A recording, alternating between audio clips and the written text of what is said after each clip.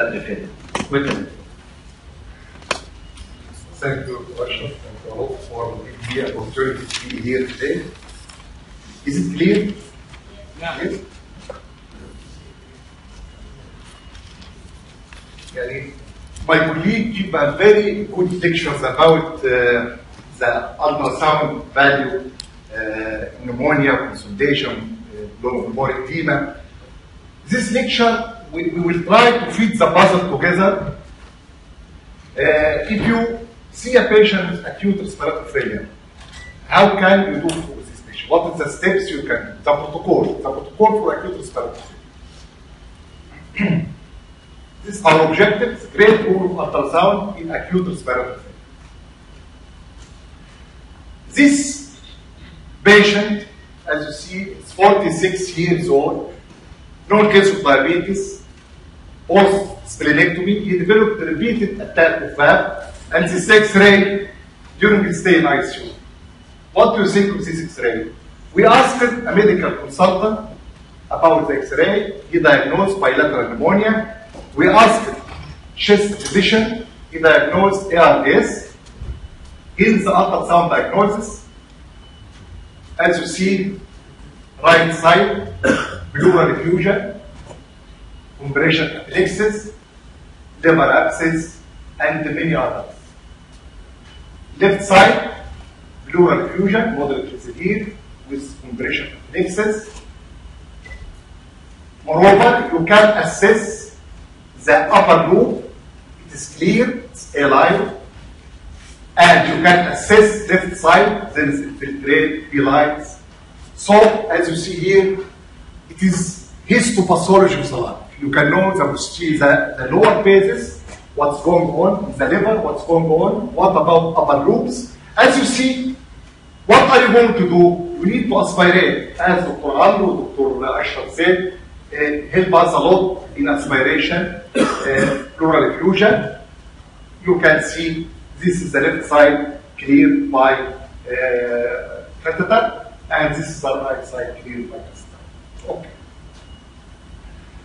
A lot of articles talk about the very great sensitivity and specificity of ultrasound compared to the gold standard CT. My colleague, I think, talk about that. You are talking about almost 90%, uh, 90 to 100% compared to the CT. Hundred of articles, it's now it's fact, lung ultrasound fact now, and you should master it, help a lot. These guidelines will get today, see today, it's confirmed with acute hypoxemic respiratory failure. So please, you need to do ABG and you need to exclude other non-hypoxic causes, non-hypoxic causes of acute respiratory failure or acute respiratory stress, like metabolic acidosis and respiratory alkalosis, before you proceed in these guidelines. Okay? If the patient is hypoxic, you will proceed in these guidelines. Now, you get a call from the medical department or from the ER because the patient has acute respiratory failure. What are you going to do? First, you need to organize yourself. You need to know steps to go through. You know now a lot of information, but you need to use this information in a precise way and step-by-step approach to reach to your goal. I believe it is the cava. Inferior vena cava is very important. Start by vena cava. If you find this type of inferior vena which is narrow, totally collapsing, I, will talk without mic, okay? If you find this narrow, totally collapsing, you are talking about infected causes of acute respiratory failure. You will search for infection as a cause of hypoxia. So, please look for two things pneumonia and ARDS. What about pneumonia? As all of you know now, you know this is the A line which is normal line. And this is a hepatization you hear about today when the lung became like the liver. And as you see, air bronchogram with the core of white cords is coming up and down. So if the inferior vena cava is start collapsing, you will go to the lung searching for pneumonia, for consolidation. What about the differentiation between consolidation collapse? As Dr. Abel said, it is the bronchogram which is mobile and bronchogram which is static. Okay? Number two, ARDS. In ARDS, you will see vena cava which is narrow and collapsing. ARDS, as you know now, there is B-line. But what is the art of B-line? There is an art of B-line. The future is this art of B-line. How can you diagnose ARDS by B-line? Look for these three things which appear. this is the A line. Okay? B line is the vertical comet tail laser shape coming from the plural. Okay? You will look for three things. If you see B line, please go to assess three things. Plural. What about plural? Is it clear, smooth, plural? Or it's dirty, irregular, thick plural? Second, as the Quran said, you have an area of salah. You are going to assess anterior, lateral, and posterior. In the anterior part of the lung, for example, there is several rib space, interpersonal space. Is there, is the B line is homogeneous all over the interpersonal space? Or there is space in the B line and other space there is A line. This is what's called heterogeneous distribution of the B line. Third, you look for associated consolidation. Us. If you see one space, B line, and the other space, A line, this is heterogeneous B line. As you all of you know from the CT, ARDS is a heterogeneous disease. Do the CT for the ARDS patient, you will find normal area with consolidated area, with infiltrated area. This is the way by ultrasound to know about the heterogeneity of the disease to diagnose ARDS. What else? Look for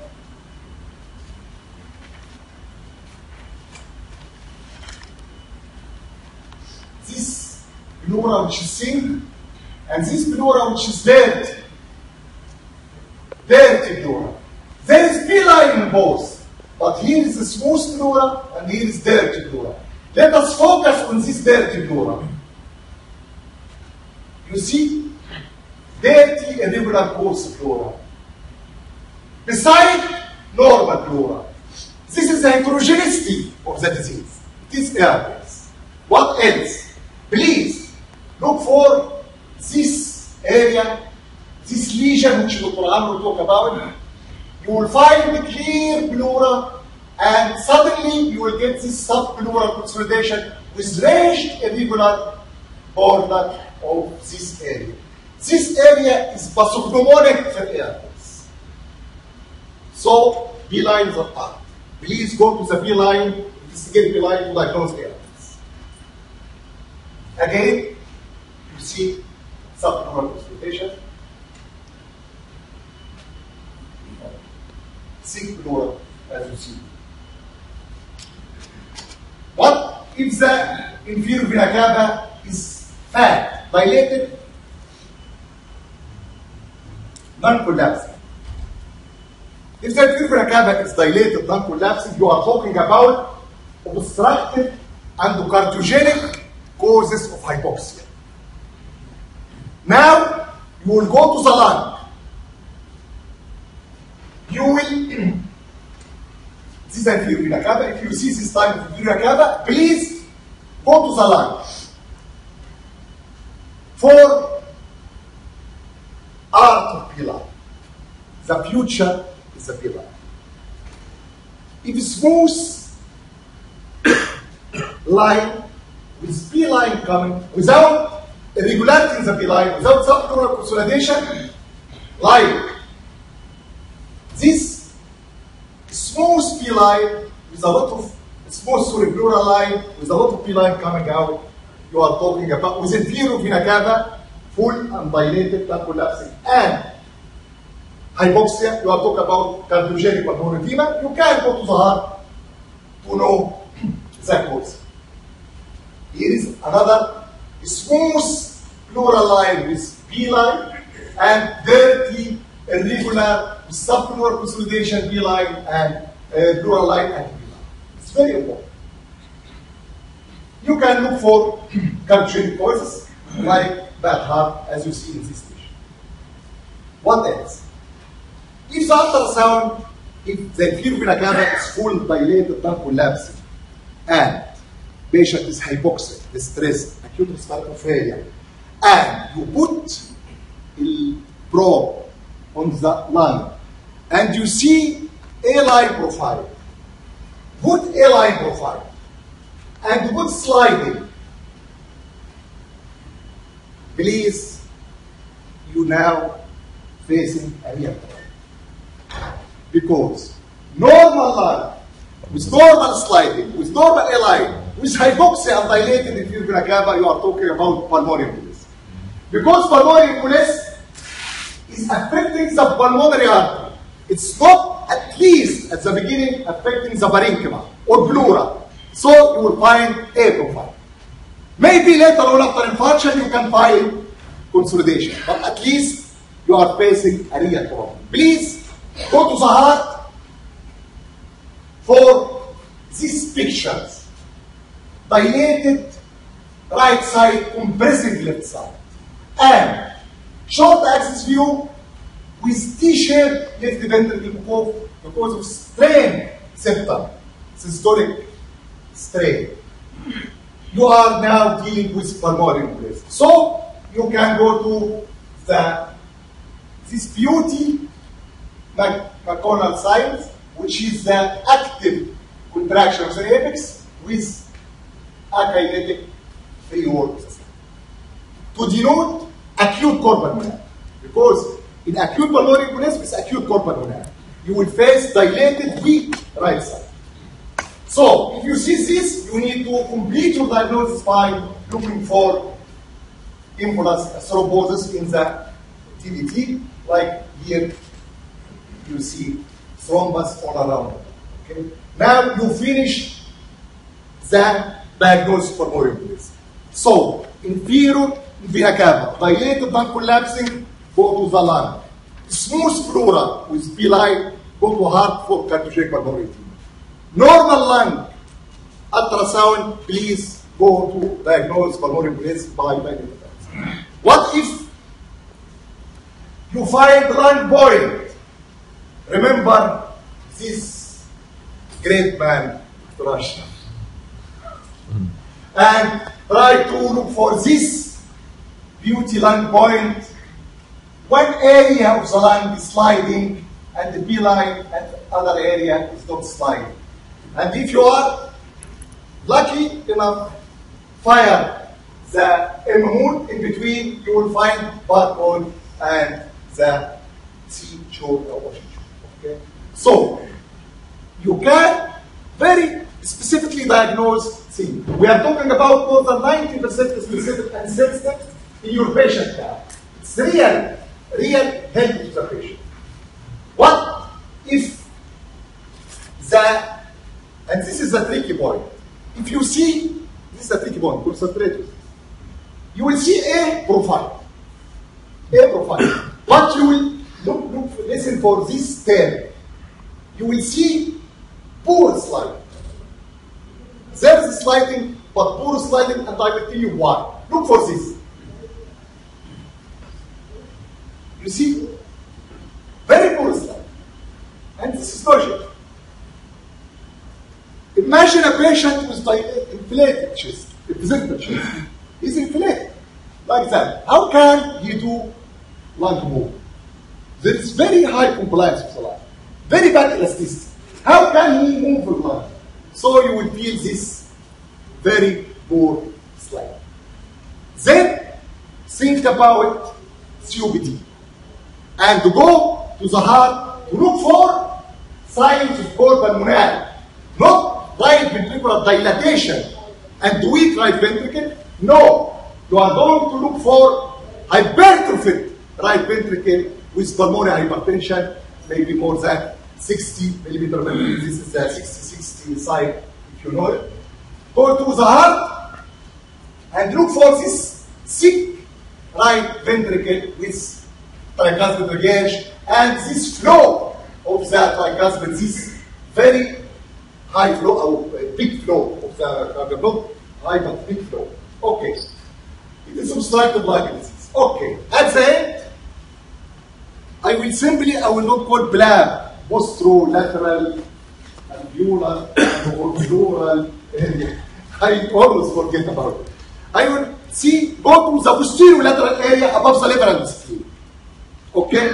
Four, pleural effusion and diaphragm. Now you complete the protocol. It's our protocol. I tried this protocol with hundreds of patients, and I have the videos of all these patients. It works. It works in proper way. So, now, first, go to the vena If marrow collapsing, you are talking about infected causes of hypoxia. Go look for pneumonia and ARDS. Remember, the art of line. The future will be in the line. Second, if the inferior cava is dilated, not collapsing, go to the, the lung. If it's smooth pleural line with feline, go to heart for cardiogenic pulmonary edema. If normal in line, we go to sliding, please, you are in real problem. Go to the heart for right side dilatation and signs of acute pulmonary is pulmonary embolism. If your patient has dilated, non-collapsing inferior cava with hypoxia, and you went to the line, we find that point you are talking about pneumothorax. If you see a profile with very poor sliding, you are talking about COPD. So please go to look for signs of pulmonary, which is hypertrophic right ventricle. It's very important. Hypertrophic right ventricle with high systolic pulmonary, systolic pulmonary pressure. Because in acute pulmonary, you will not expect high pulmonary arterial pressure because it's acute and right ventricle has seen war. If you put a thrombus in front of the right ventricle, he will fail. It will fail and will not generate a pressure. So please, if you see right side dilated and big systolic pressure is low and right ventricle is weak, you are talking about, and the scene you are talking about acute pulmonary. If you find high big systolic pulmonary pressure more than 60, 60 sign, and hypertrophy, you are talking about pulmonary COPD.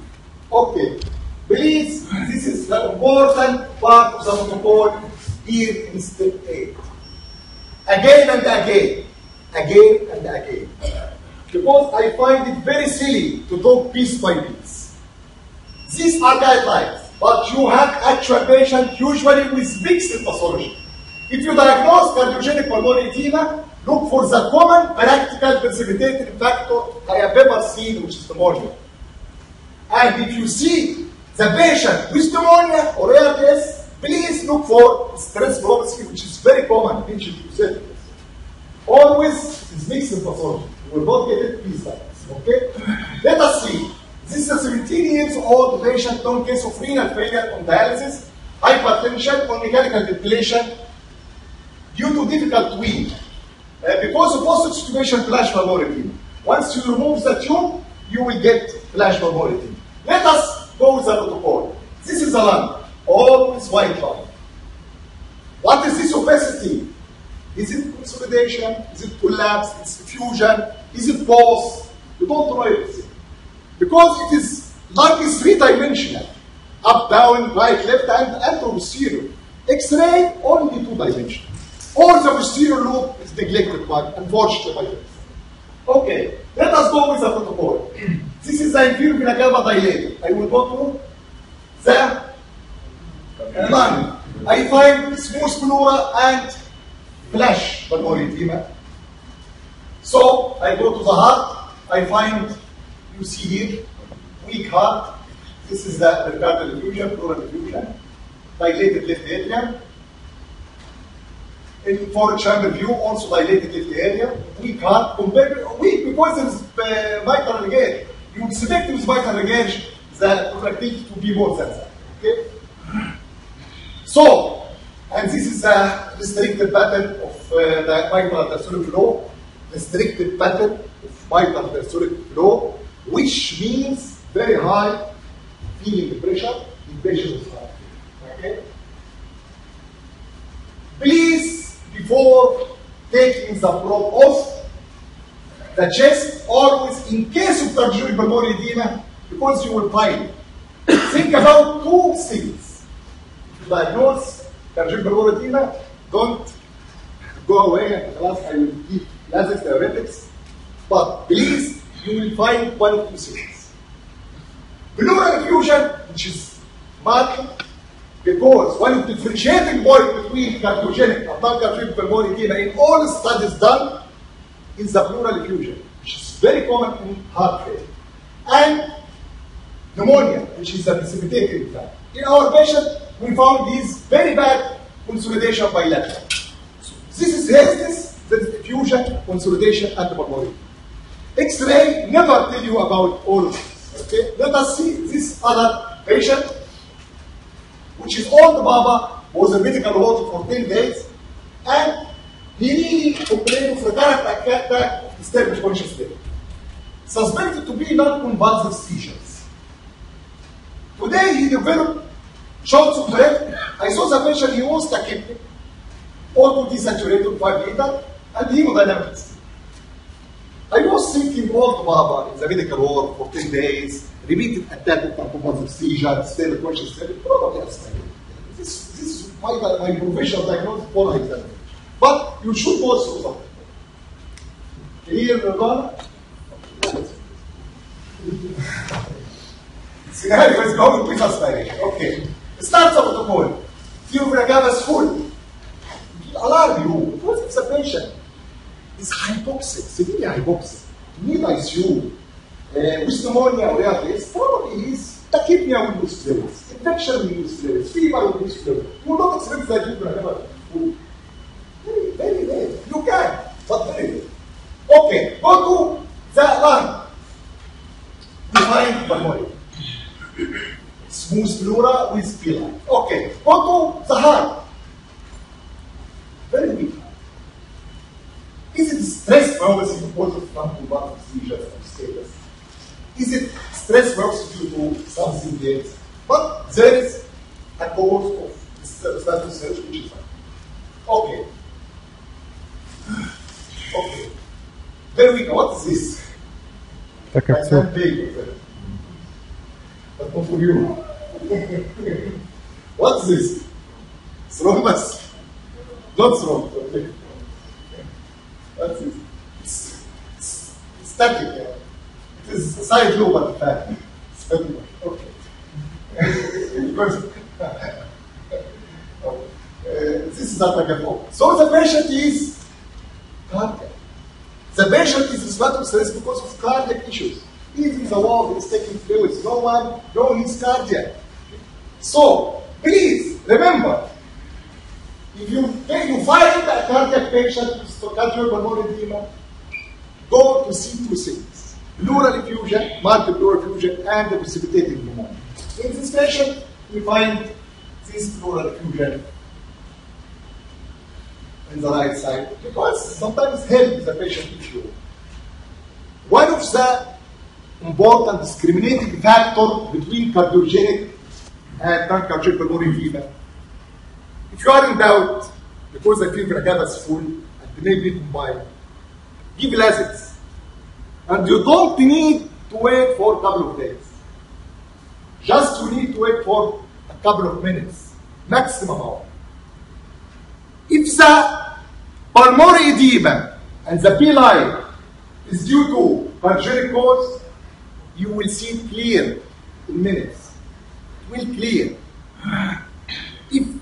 Lines didn't clear, you are talking about ARDS.